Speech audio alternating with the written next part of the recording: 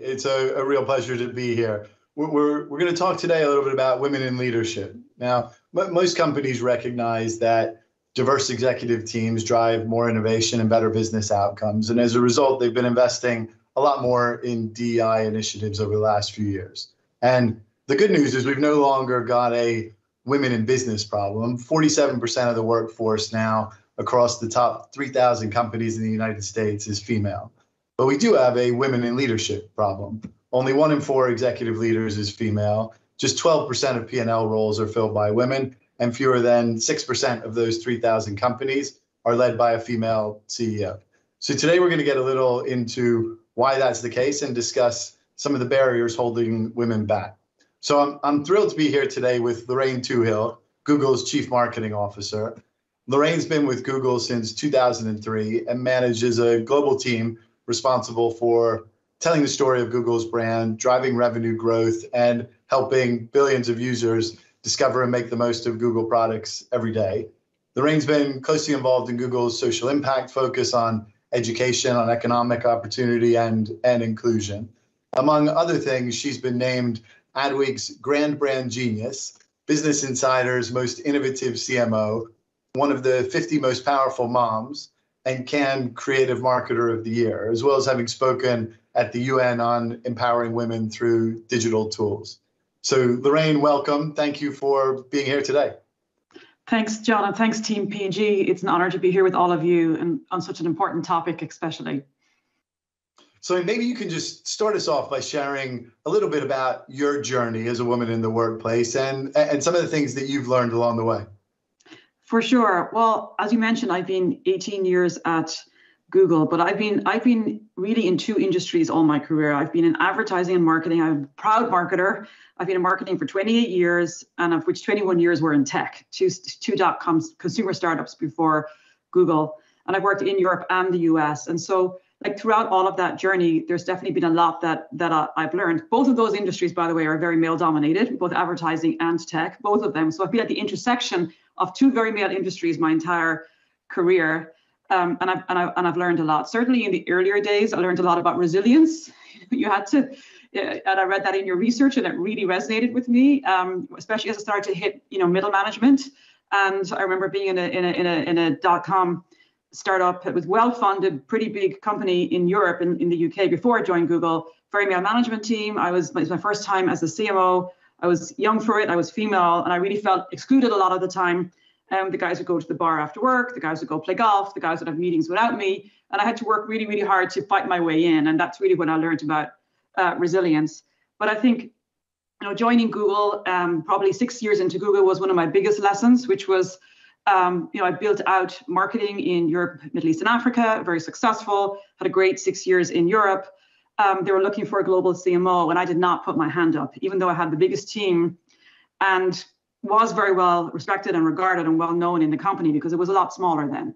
And um, it took it took it took three male advocates, you know, it took three sponsors to actually sit me down and say, "This is your job. You should be doing this. There is nobody out there more qualified than you. You would you would do this so well. Why aren't you putting your hand up?" And then I had to say to them, you know, very quietly, "Well, I'm actually, you know, I think I'm pregnant, but it's very early days. Way before I should be telling anybody, by the way." but that's that's one of the main reasons and they immediately said well congratulations and we don't care in the least we don't care so i so i moved to the us um, you know and then get to the us start to hire and build my team and then six months later go on maternity leave you know and everyone was so supportive but i would never have i would never put myself forward and been in this extraordinary job that i've been in for the last 12 years if it hadn't been for our ceo at the time and you know, a few others who knew me well, all guys sitting down and saying, you know, you need to go do this. What is stopping you? And having that conversation with me. And so since then, I've been very focused on making sure other women put their hands up, feel confident, self-advocate, and really help them prepare for those next steps, which really leads to the next big thing I learned, which because is, is that I spent so much of my career focused on helping women. When I moved to the US, and you know, four or five years into my 12-year US journey, I realized I was so focused on women, I was excluding others and that there's extraordinary diversity within diversity. So, you know, I needed to make sure I was lifting up African American women, um, Hispanic women, African American men, my trans community, and focus on really understanding all the nuances and intersectionality of diversity as I helped others, which is also a very big learning for me as a non-American coming from Europe, where I wasn't fluent in the racial challenges of the US. And I really needed to learn that, which taught me another new lesson, which was vulnerability. Being honest with my team when they put their hands up and said, listen, you're not advocating for all of us, you're advocating for part of us, which was, and we've done great on that. We've got a lot more women, it's fantastic, but you're not advocating for all of us. I had to be honest and say, you know what, I'm not an expert in these issues. And saying that and saying, help me learn, I'm gonna, I'm here to listen, help me learn, what should I read, give me the books, uh, teach me. I just became a far more useful advocate for them and really understood all of these complexities and nuances much, much better. So long answer, but those are some of the big chapters in my life and some of the big learnings I've had on this journey. Maybe we can just pick up the rein a little bit on that intersectionality point because you've yeah. You, you've talked about that a lot in the past and feeling a responsibility yeah. to represent people across all of those um, dimensions. But I, have also heard you in the past talk about and say very clearly, good intentions aren't aren't enough. We need real concrete plans. Can you talk a little bit about some of the the specific things you've done to help accelerate that progress and really really affect real and and sustainable change? For sure. And by the way, I think there are a lot of good intentions out there, which is why I always say that. I do think people have good intentions today. I think that's one of the biggest changes we've seen. People do care. Uh, really, now it's about giving them the toolkit they need to make a difference and helping um, drive progress, actionable, accountable progress. So I think uh, you know the, the plan that we have is, is is three parts to it. There's leaders accountable for change, a team that looks like its users, and work that challenges the status quo. The work part is mainly for the marketing team, my, my world, because we put the work out in the world, but think of products that change the challenge status quo if you look all, all across Google or any company. And that first first bucket, you need to have accountable programs to to really um, help leaders understand how important this is. That it's core work. It's not nice to have. It's not work you do in your spare time. It's not work that you should feel like you know you've got to squeeze in. It is a core part of every leader's job. And to do that, you have to um, train them up so that they have tools they need to be able to do this. We have mandatory training uh, uh, for our manager, all of our managers on this. Um, they, you then have to be transparent with them, give them the data they need very, very, you know, we, we publish every two weeks, here's your data, your hiring, your promo rates by race and gender, your attrition rates, your retention rates, your satisfaction scores. They see this data and they're held accountable to it. Um, it has to affect their promo chances. It has to affect their ratings in the company. And so until you have those kind of, you know, that, that kind of that, that kind of system built in, it's extremely hard to drive major change. That starts to to, to drive change. That's leaders um, for team that looks like its users, you know, we at Google build products for the whole world. There's no way we can build products or great marketing campaigns for the whole world unless our teams look like the whole world. Like it's just, it's just, it's not, it's not, it's, it's pretty straightforward, right? So um, now to get there, and it's a big journey for us, and we're not there. We are on our way. You, you have to do a lot of, uh, uh, you've got to solve a lot of problems. We have a big issue on access. There are just not enough female engineering graduates in the US or anywhere in the world.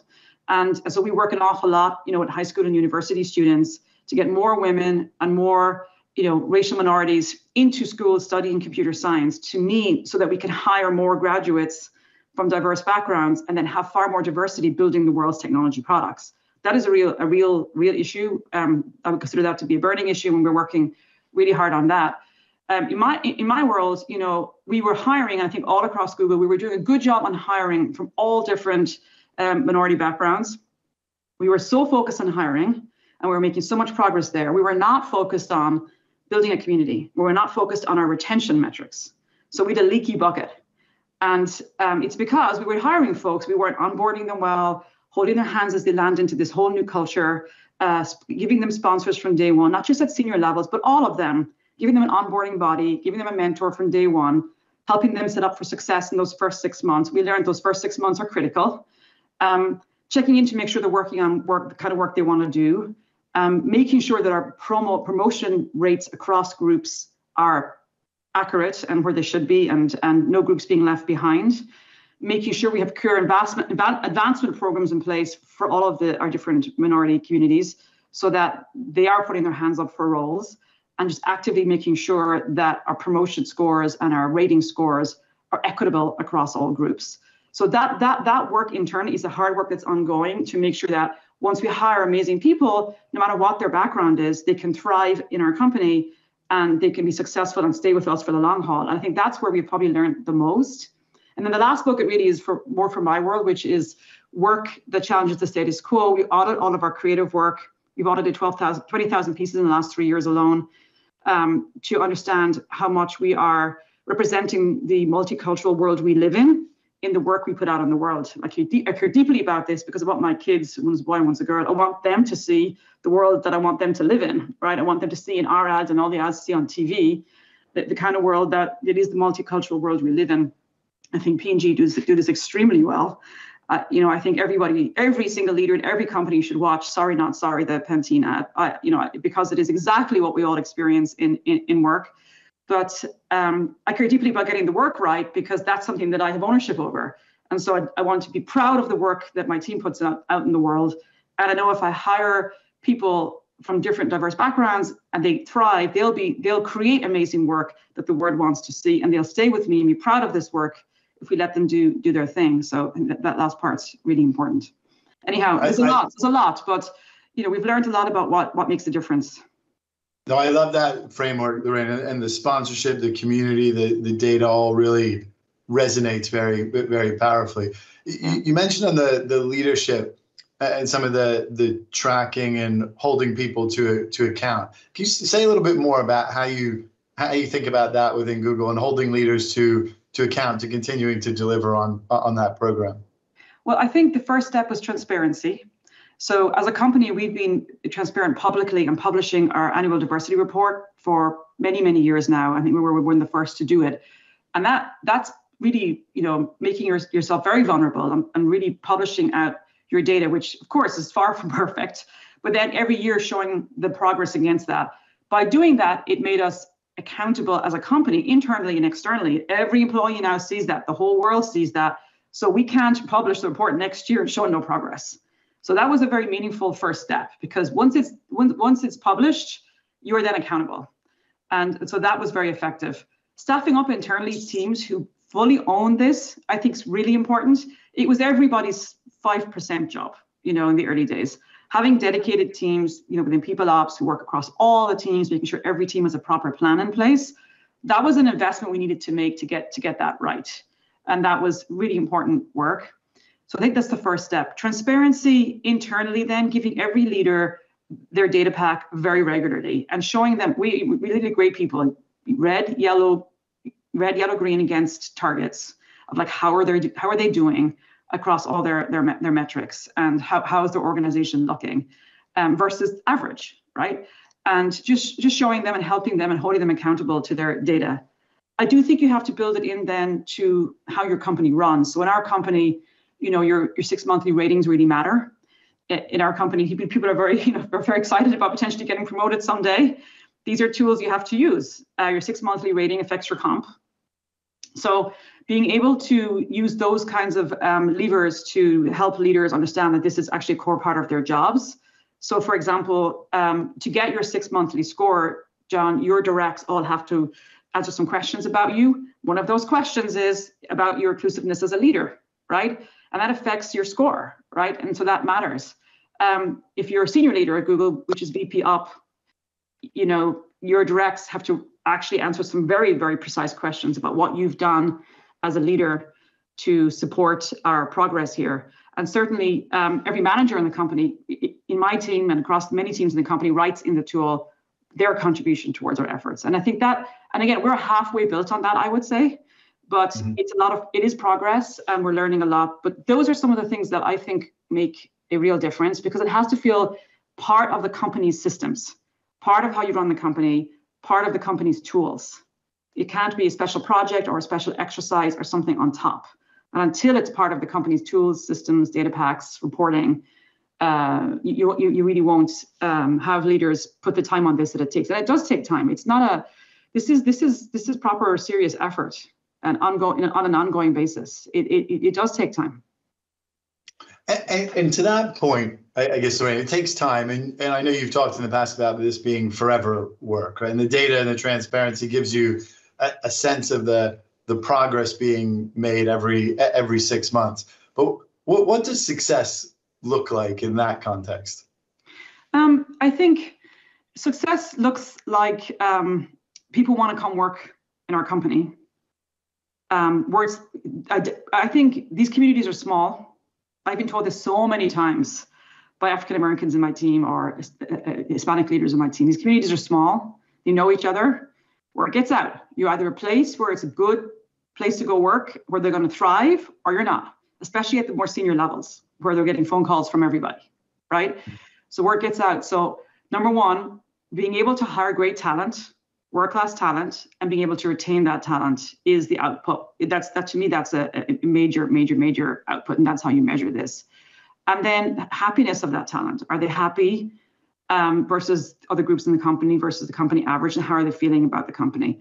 Um, do they feel heard? Do they feel listened to? Can they show up to work as their true selves? Um, I think that's really important. We learned a lot, um, you know, last year, for example, through um, the racial equity protests, where, you know, up till then, and this is something that my, many folks in my team said to me, look, I'm from the African American community, for example, something terrible's happened to my community, and people are coming into work like it's a normal day. And I'm devastated inside, and I'm expected to show up and sit in all these meetings. And so we learned, we learned, we learned a big lesson from that. That we have to turn to folks and say, listen, if you need time, take time. You know, they were talking about the folks sitting around them who were just unawares of what was happening in that person's world, and whether that was the Asian Americans who were really upset at stories where Asians were getting targeted through COVID, or whether that was African Americans seeing horrendous stories. It happens in all communities. Um, and we weren't really processing that internally at work, you know, and turning to folks and checking in and saying, "Hey, are you okay?" Um, and so that that that kind of that's less measurable, but it's the little things every day that we're now much better at doing, and we've built into training so that folks understand that it's not just about the metrics and the numbers; it's about the lived experience of the folks in our team. Once we've hired them, once we've got them in great jobs, once we've found them, so that they feel proud to be here and they feel supported through those tougher times. Yeah, I guess it plays very much to your community point, and and it's another, it's one piece of a a much bigger puzzle on the leadership side. Where now eh, a lot of people talk about it being much harder to be a leader now than it was in the past, and I, I think that's always at any point in time it, it, it's like that. It, it's certainly different, right? Leaders now are expected to have a view on social issues in a way that wasn't the case five five years ago. When, when you think about leadership in Google and within your team, is there is there a shared view of what makes a, a great leader now? Well, I think that's the that's the that's the great that's the big question. I think there's no shared view anywhere of what makes a great leader, which is why I think you don't see more women getting into senior leadership roles, right? I think this is something that you covered in your research. So I think having a better shared view of what makes a great leader today would help all of us. I think would help everybody. Um, and I really I found that super interesting in the research you've done. But I think in our in our world, um, I do think leading with empathy, being a very human leader, is extremely important today, more than it ever was before. It probably likely was always important, but it's become really, I think, a leading uh, attribute today. I think women do that uniquely well, to be honest. So I think that it, it's a time when you've I've definitely seen a lot of women shine whether that's through the complexities of, of the racial issues that we've dealt with in society, or whether that's a pandemic and getting your teams and their families through a tough time with sick family members, sick friends, in, and you know, on carers leave and all of that. You know, I think it's a it's a moment in time when empathy and you know, being human and listening and being there for your team, being supportive, and those softer skills that actually really matter when you're in charge of human beings and you're a leader of people you know, they really shine right now. And I think that looking to the future, we're going to need a lot more of that. I have a lot of very young people in my organization. Um, that's what they look to in a leader. I think their definition of what a great leader looks like is very different to a more traditional definition of what a great leader looks like. And I really think that's that's where we're going. So I'm actually very excited by that. No, I think I completely agree with you, and I, I think there's a lot of really positive momentum. And, maybe just Lorraine, a final question for you on that positive no, when you think about continuing this momentum and where where we go in the coming years, what's what's one thing you expect to happen in the next five years that may may shock or or, or wow folks uh, who, who are thinking about this? I don't know if I've any I've got any one thing. Unfortunately, an awful lot of this work is is is progress by inches. You know, there's no one silver bullet. But I, I do think that point I just mentioned about the younger generations, it makes us sound old, I know, but I have a lot of under 30s in my team, for example. And they just, their, their, their definition of gender, for example, is much more fluid. Their definition of race or what they see as race is much more fluid. Um, and they just all show up together. And um, the women are fierce, they are a force, right? Um, and um, they are brave and confident. Um, and there's far more diversity. And I just see them all how this, the men go on paternity leave, which by the way, I think is really important, really, really important. There's far more, I just think there's a lot of change happening. And um, will it change everything in the next five years? No, but I do think it, it's going to drive a lot of change over the next years. And I think we're seeing this sort of groundswell of the next generations and how they think about things. And it's very different. Yeah, I, well, I, I share that optimism and certainly see that momentum and, and hope we continue on that, that path. Well, Lorraine, thank you very much for taking the time to share share your perspectives. Uh, Nikki, back to you.